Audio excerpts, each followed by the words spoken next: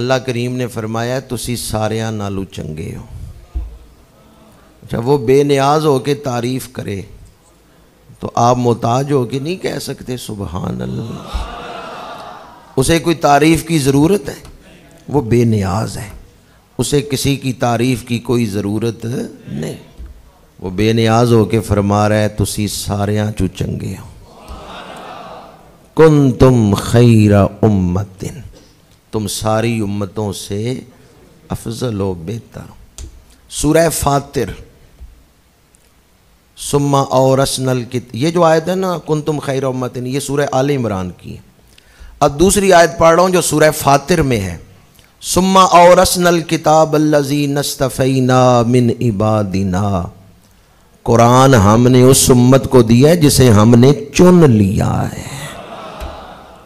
आप इंतखाब हैं अल्लाह का। अल्लाह ने आपको चुना है। किसी को हज़रत मूसा की उम्मत में पैदा किया, किसी को हज़रत ईसा की उम्मत में, जिन्होंने उन नबियों का कलमा पढ़ा, उनसे फैज़ हासिल किया, वो भी बड़े खुश नसीब पर हम कितने खुश नसीब हैं, अल्लाह ने अपने महबूब के लिए बचा के रखा है। हदीस पाक है, मेरे आका करीम ने फरमाया अन तुम हज़ी मिनल ओमो में वह अना हज़ो मिनल अम्बियाए नबियों में मैं तुम्हारे हिस्से आया हूँ और उम्मतों में तुम मेरे हिस्से आए हो। तो हम कितने खुश नसीब हैं हम हजूर के हिस्से में। हम लावारिस नहीं हैं, हजूर के हिस्से में आए हुए हैं। और हजूर ने फरमाया, नबियों में मैं तुम्हारे हिस्से में आया हूँ। और हम कितने खुश नसीब हैं, अल्लाह ने अपना महबूब हमें अता फरमाया है।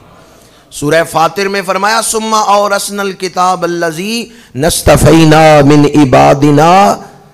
हमने ये किताब, कुरान, उन लोगों को अता फरमाया जिन्हें हमने अपने बंदों में से चुन लिया है। आप चुने हुए हैं, मुंतखब हैं। शुक्राने के नवाफिल पढ़ा करें कि या अल्लाह, तेरा शुक्र है, अपने महबूब की उम्मत में पैदा किया है। जो इस पर शुक्राने के नफल पढ़ते हैं ना, चाहे महीने में ही दो नफल पढ़ लें, कभी हफ़्ते बाद ही नफल पढ़ लें, दो नफल। या अल्लाह, तेरा शुक्र है, हजूर का उम्मती बनाया है। इन दो नफलों की बरकत से ईमान पर खात्मा नसीब हो जाता है। क्योंकि जो नेमत की कदर करता है, नेमत का शुक्राना करता है, अल्लाह उसकी नेमत में इजाफा फरमा देता है। जो ईमान पर शुक्राना करता है, अल्लाह उसको कमाल ईमान अता फरमा देता है। कौन तुम खैरा उम्मतिन, तुम सारी उम्मतों से बेहतर हो।